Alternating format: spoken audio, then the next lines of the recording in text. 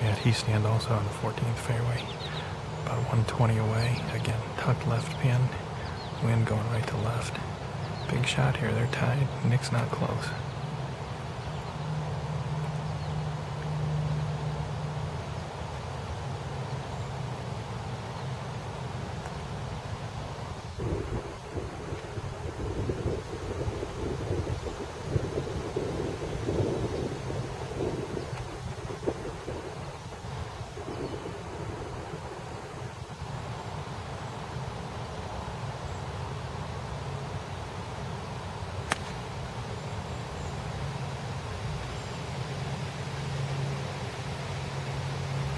Just a bit short, right on line, just in the just in the heavier rough, just short.